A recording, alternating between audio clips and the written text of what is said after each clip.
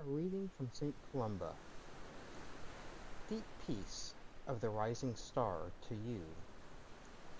Deep peace of the flowing air to you.